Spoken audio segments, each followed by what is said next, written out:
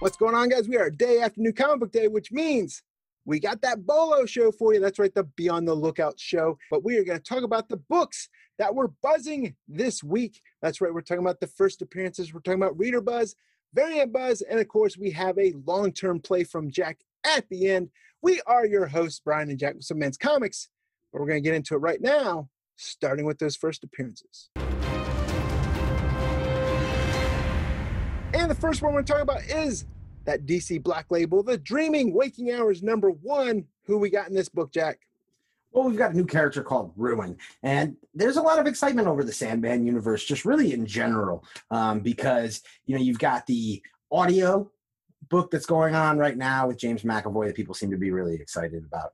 There's the upcoming Netflix series. There's a whole new publishing initiatives going on. We're going to see a lot more of the Sandman uh, universe going forward. And I say the Sandman universe because that's what's important. Is it's more than just that original title. So these new characters, there's a lot of different space where they could kind of end up, and the upcoming crossover with the ever popular IDW Locke and Key that's going to be coming up. Which and the fact that that's now we know that's going to be canon um, it, I think is exciting for both franchises.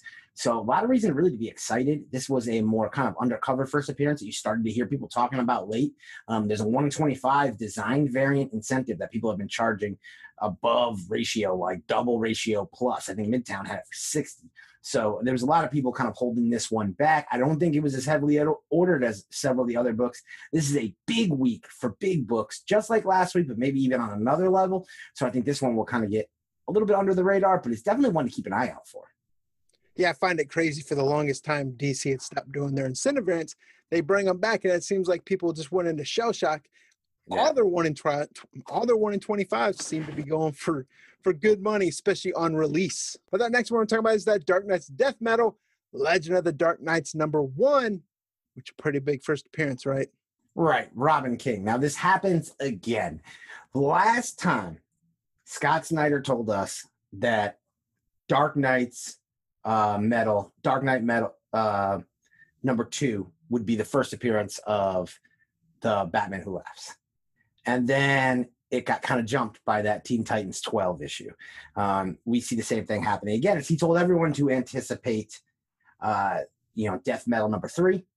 And here we go with this one shot um, jumping the first full appearance. So this is going to be the book to get, and definitely lower printed than the the um, uh, you know you would expect to see from Dark Nights Metal, the Death Metal number three. So a lot of reason to be excited, especially if you believe long term in Robin King. I'm still not sure or sold, um, but nonetheless, it's been even undeniable for me. I had to make sure I, I, I was in on it early. Um, and then that 125 variant, you know, dinosaur covers always kind of get people's attention and do well. Beautiful cover, Robin King featured right on the cover. Um, it's kind of a home run, but $400 right out the gate, just impressive for an incentive. So the market is strong right now, Brian. If people believe in something, they are willing to pay for it. Yeah, and it's crazy because two months ago on simplemanscomics.com, we talked about this book put that book up there saying that it was going to be the first appearance of Robin King because they had an interview on CBR.com. Read that interview. They talked about how gruesome this character was, and CBR even was saying, look for Robin King in this book. So we put that article up there highlighting that article. And no one talked about it until like a week ago when people started putting spoiler images out. All along, you could have pre ordered it pre FOC.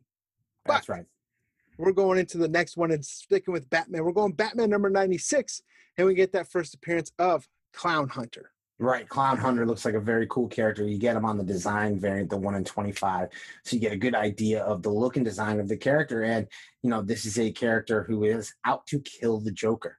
Um, and it, he's crazy, but crazy for good, right? So it's going to be really interesting to see where this character goes. Um, it's one of the more exciting first appearance characters. And we're going to talk about kind of like the longevity view of this character when we talk during the long term play.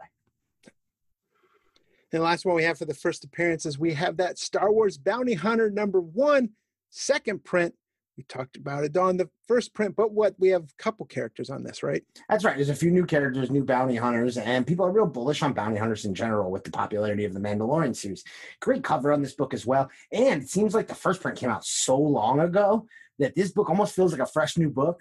People don't almost don't remember um, that first print. And the first print, number one, uh, one in 50 variant is red hot. So it's gotten a lot of attention during the break. So I think people were ready for this one. If you see this one for cover price, I would grab it. So there it is, guys. Are the first appearances that came out this week. But we're going to shift over right now into my favorite section, those Reader Buzz books. And here's a book we're talking about. This was actually in multiple sections of the Bolo list this week. And we're talking about that Horizon Zero Dawn number one. That's right, big book. Um, the Peach Momoko variant definitely got the attention of the comic speculation community, and for good reason. It's a nice cover, and Peach Momoko is red hot. There's also the Artgerm cover, but there's a multitude of incentives going all the way up to one in 100. You're getting rare high ratio Artgerm, high ratio Peach. I think these books and the heat behind this video game.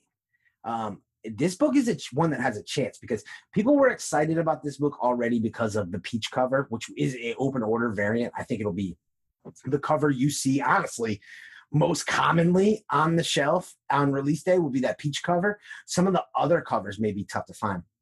The key will be do video gamers jump on this book? If the video game community jumps on this book, this book could end up being one that does Witcher type numbers because the video game is selling.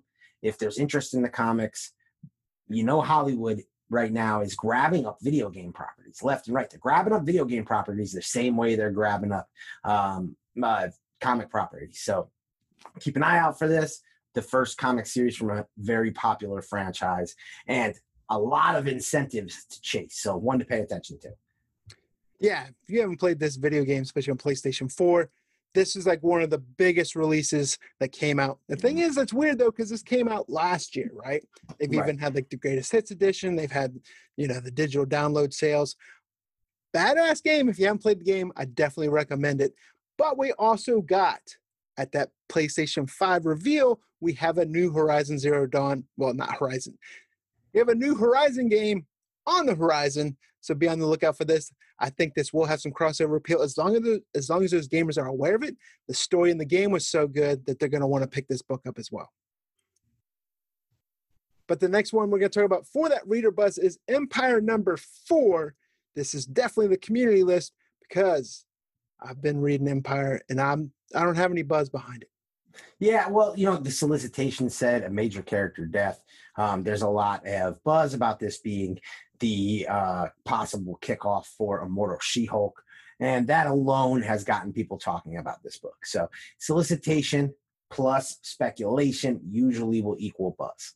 But yeah, let us know in the comments. Did you guys pick up Empire number four? Did you the story? Let us know what you think about this book, especially reader buzz and speculation buzz.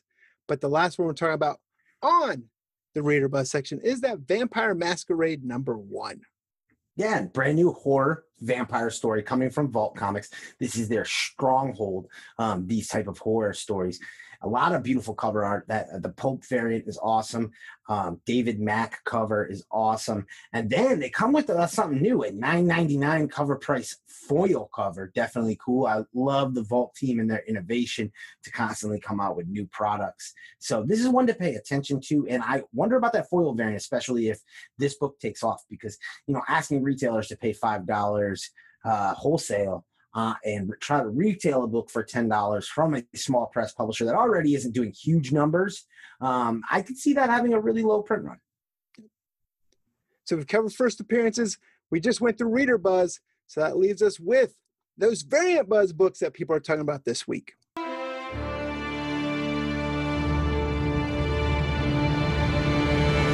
So we're into the variant buzz. This is that shiny object that people go after, especially the Wednesday Warriors and with first one we're going to talk about is Ice Cream Man number 20. We're talking about that Dr. Seuss homage.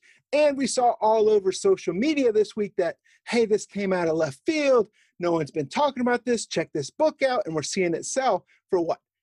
20 bucks or so already on, on secondary market. And we're recording this Tuesday night. But there was someone that talked about that. There was actually two people that talked about it pre FOC, you know, the show that everyone hates people to talk about because you're telling about books before they hit FOC and letting people buy them up. Who are those people, Jack, and what is going on? That's right, Brian, because we talked about this book right here on the last call show, the pre FOC show. Not only did we talk about it, it was one that we really highlighted. Brian, I got to give you credit. You spotted this thing out in the previews and immediately said, This is the type of book that pops. Homages, especially homages that feel like they're they're um, outside of genre, are the type of homages that tend to have that kind of pop because everybody is familiar with Dr. Seuss. Everybody's familiar with uh, you know this book, and to then create a variant um, that plays into it from a very like graphic book, right? This is a, a hard RR rated book, um, and to then bring in a childhood story and play off of genius. Uh, it, being issue number 20 it was one that we saw people sleeping on like you mentioned brian $20 all day on ebay um, for pre-sale and yeah it's one that you know if you owned a retail shop and you were listening to us pre-foc you could have picked up all day for $2 if you were a, a if you're just a collector you could have been hitting up your LCS and probably picked it up for three dollars and change. Um, and that is why we love the last call show because we're able to let you guys know what we see happening. And every now and again, you know, we're we're right about one of these things, and this is one we were definitely right about. And if you haven't been, but you're interested in watching that last call show, that premieres every Friday night, 9 p.m. Eastern on Simpleman's Comics, or available for replay anytime after that as well. But the next book we're going to talk about is this Thor late prints that came out, right? Yes, we talked about on several different programs here on the channel how hot not only late prints are, but everything Donny Cates is currently writing. And that Thor run is just red hot. So that they are going back. Marvel is reprinting over and over and over again all of those early issues, and for good reason. Um, it seems like one isn't quite getting reprinted as much because I think there's more of a supply of one out there, but two, three, four, five, they've been getting reprinted we saw this week the release of a three and four reprint. Um, definitely got people's attention. With three, you get kind of a design variant look. With four, of course, that's that first kind of cameo appearance of the Black Winter. So people like that book. And we've seen what these especially key first appearances. Um, what the late printings can go for. So I would keep an eye out for that number three. I like, or the number four. I like that one better than number three. But either way, I think these books will be kind of under ordered because retailers still haven't gotten down with the fact that these late prints not only are hitting those readers who missed out on reader buzz series like this where everybody should be reading it um, and you may have missed out and the secondary market prices have eclipsed what you're comfortable paying for a floppy reader. You're not a trade reader. You're not a digital reader. So you're able to get these late printings. But then it's also hitting collectors cover art. And with the way some of these books have spiked, you're bringing in the, co- the collector market, the reseller market, the speculation market, and every other market. So I think these books are going to continue to be hot. Yes, which again you would have been aware of as well if you watched the last call show. Yes, because we always make sure to hammer home and talk about those late printings. And those are most often the books that people overlook. And the next one to talk about is also a second print. We're talking about that Mighty Morphin Power Rangers number 50, which is also a key issue, right? That's right, because we have the return of Lord Drakkon, who everybody's been talking Drakkon when it comes to these Mighty Morphin Power Ranger comics, but too many people don't actually read the series on a regular basis like you and I do. Drakkon's been gone. And now we get to see Drakkon come back after defeat. Um, and he's kind of disheveled. He's not himself. He's not confident. He doesn't really know where he fits in this whole universe. And we know that there's going to be some things coming. Drakkon came back for a reason. The publishing team at Boom Studios brought him back for a reason. Um, there's there's certainly going to be more story. We know that now uh, Kimberly Hart and the Ranger Slayer is sitting on his throne, and this cover we get for 50, the second print, shows an awesome kind of almost design style uh, variant cover of Drakkon in, with his kind of like disheveled look, which is a far cry from the look that he shows on most covers. Right, powerful, dominant. Um, you can certainly see our cover by Steve Morris for Drakkon New Dawn number one, currently available $24.99, 500 print limited uh, undressed copies, um, virgin as they are referred to in the secondary market. Um, available right now, simplemanscomics.com, as well as the 616comics.com. But you see in that cover how like powerful he looks. Very stark contrast from what you're seeing in this cover. I certainly think this one's going to be low printed. It's going to be under ordered. And as Drakkon's star continues to rise, this moment in comics is probably just going to be a very brief moment. And this could be the only depiction of him in this sort of former faction. I like this one long term, Brian. Yeah, I agree. I mean, we're both big Power Rangers fans, so I don't want to say like biased. And when I say Power Rangers fan, I'm more of the comic Power Rangers right. than the show. There's a big distinction there. I still like to watch the show, but we've talked about how so much better that comic book is. But that's going to lead us into the next one on the variant buzz. And this is coming out a week before the actual book releases, but we're talking about that Seven Secrets number one Thank You variant, right? Yeah, and I know that this is going to be the one that gets me comments all over the place because people are going to be like, Seven Secrets doesn't come out. And I know that. Trust me, we have a Seven Secrets variant available right now at simplemanscomics.com as well as the 616comics.com. Again, 500 copy, 24.99, all undressed or virgin uh, covers by the great Junggeun Yoon. We're very excited about that series. But while we're aware of the release date of that book, the, the stores were shipped their thank you variants ahead of time um, from Boom Studios. And you know how stores are. Once they get something in hand, they're going to sell it. They're not going to wait. Midtown sold theirs for $88. So we're going to see more and more stair, stores putting them on the secondary market. This is something to pay attention to, something to be on the lookout for, because a store may not be aware of the secondary market of this book. They may put it out for cover price. We'll see some of that. We'll see stores put it out undervalued. Um, the market is going to get set on this. Also, it kind of creates this really weird situation, Brian, where if Seven Secrets takes off and becomes this really big book, will people care that this book was released a week prior to the book's release? Will they put added value in that? Is that something that's going to trigger the secondary market? I don't know, but it's definitely something to report on. It's something to, to be on the lookout for because if you hit your LCS today and you weren't aware of that and you missed out and you're going to hit it to tomorrow or sometime over the weekend. This is something to check on. Ask your LCS owner, did you get a um, Seven Secrets variant? And check out what they're selling it for because it could be a great buy long term. Yeah, so we talked about Power Rangers. We talked about our Drakkon New Dawn variant that we have on the site. We talked about the Seven Secrets that we also have a Junggeun Yoon variant for. We love both those covers, and I'm telling you right now, Seven Secrets is a series that we feel so great about we talked about Once and Future. We've talked about something's killing children. We think this story kind of follows in that same, I won't say plot point or direction, but has that same type of feel when we read those books. So I will say, yes, we would love for you to buy our variant. But if you don't buy our variant, definitely when this book comes out next week and you can't get this Think of variant that came out this week, pick copy A up, give it a read.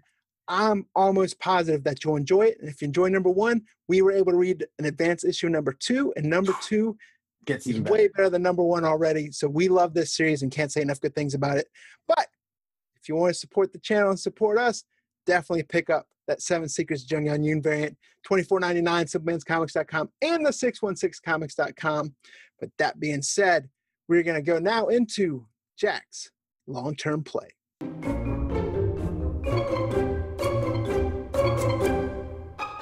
And this week for Jack's long term play, he's going back to that Batman. We talked about this earlier, but we have Batman 96. Why is this your long term play? Well, a lot of people are going to go, dude, Robin King. Yeah, I get it. But me talking to you today about Robin King doesn't help you out. Now, again, I don't feel that bad because we did talk to you about it a long time ago. So we tried to warn you that this was coming. But these long term plays, I'm trying to give you an idea. If you walked into a comic shop today, you had nothing on a pull list, nothing pre ordered and you're just looking at the shelf, what is the best long-term play with what you're looking at? I don't think you're going to find the the Legends of the Dark Knight book too oftentimes just sitting on a wall for cover price. Um, I don't think you're going to find the incentive certainly for anything close to ratio. So I'm going to take that and really kind of eliminate that. If I eliminate that, I think what could benefit from that is I think Batman 96, an issue that probably would be the hottest issue of the week if we weren't talking Robin King, is going to get kind of totally overlooked. There's a great cover B from Mattina. Um, I, I really like the Clown Hunter uh, design variant. I think the Clown Hunter character is a character, anything related to the Joker tends to like do well. Um, I love the idea of somebody coming at the Joker. Um, I love the idea of somebody kind of equally as kind of crazy and unpredictable. And I would love to see where he will fit in or become an enemy of the Bat family. Will he become a Joker ally one day? Like, you don't know where this character could go. Now, I'll admit, if you've been burned by the designer, certainly this could be a character that Tynion only uses for this storyline. You could lose money on this. Now, here's the thing, though. We talk about lottery ticket, right, Brian? I don't think you're going to lose money on cover A or B either way because I think that this Joker War story is going to be popular. People are going to be selling the story as sets. I think you're going to be okay. It's going to retain its value at least at cover price. It's not going to be a dollar bin book. Um, but if Clown Hunt, if you get buy the incentive, and certainly if you buy the incentive at market price, and you're hoping it's going to go up, and then Clown Hunt dies three issues from now, um, certainly that would have change his name to Clown Hunted. Right. It, well, you you can hunt the Joker all you want. Joker's gonna hunt you back. So you know, there's no doubt that uh, that battle is going to be brewing or punchline. Um, it's going to get messy. So the, I I know there's a risk involved in this, but I just don't think you can point to Robin King um, at, at because, like I said, I just don't think that's a realistic piece of advice I can give you, the buying public. Um, because if you really missed out, I will tell you pay attention to the last call show pay attention to wherever you buy your foc comics from because i would look for that uh, legends of the dark knight second print. Um, if you if you're comparing robin king to batman who laughs the batman who laughs second print is now like a $50 book $60 book and it was a dollar bin book for the longest time. So yes it will be over over ordered yes it will be cover price for a long time. You'll curse me out for six months to a year and say, Jack, you made me buy this crap that's sitting in my short box. And then three years from now, you're going to be like, oh man, Jack, that was a good pick, but you won't give me that credit then. But either way, for that reason, that book I really can't look at. I got to look at Batman. Um, and I think that we've been bullish on this Joker War story the whole time. There's no reason to stop now. So risk, yes. Um, but I think it's a book three dollar risk. Yeah, it's a three dollar risk, and it's available today. Um, unlike uh, you know the Legends of the Dark Knight, where you're not finding that on shelves. I think most of you will be able to find Batman '96 cover A or B or both on your shelf at your LCS today. Yeah, and it all comes down to if you don't like his opinion, don't buy it. We always say buy what you like, right? Yes. We just absolutely. offer our opinions three dollar risk, whatever the cover price is for this book. Low buy-in, like we always say, it's price of a lottery ticket. May or may not do anything, but that Joker War storyline's been fantastic. So you're getting your money's worth in the read alone. And if it appreciates, that's just the added benefit of it. And that's why it's a long-term play because there is risk in long-term play. We don't have a crystal ball. We're just basing everything off our opinion. Whether you buy it or not, that's up to you. That's your money. Buy what you like. But it's a great long-term play, in my opinion. And we mentioned a couple times in this video tonight about our last call, that final order cutoff show. We do want to mention that DC has just shifted their final order cutoff a day earlier, right? Normal final order cutoffs Monday night. I believe DC's now shifted theirs to Sunday night. That's right. And because, and we've heard from people, um, that they maybe would like us to look at the scheduling of the last call show. That is something we will talk about um, our weekly schedule, but um, definitely want to let people know about that. We've been big proponents of we don't like DC changing, trying to change new comic book day. Go with whatever distributor you want, but I, I wish we could keep FOC the same day. I wish we could keep uh, new comic book day the same day, but uh, we'll play ball with what we're given. But there's the Bolo list. There's the Bolo show, guys. We appreciate you watching. Simpleman's Comics Family, one of the best communities on YouTube and in comics. We love you guys. And this is Brian Jack from Simpleman's Comics. We'll see you guys in the next video. Thinking you got me right where you want me. I tell a ghost just. Sending them shots, we send them back. Ain't really about that. Run, it's always bounce back. Need more hands just to count that. Stay on my belly, I need me more breeze just so we can get the team right.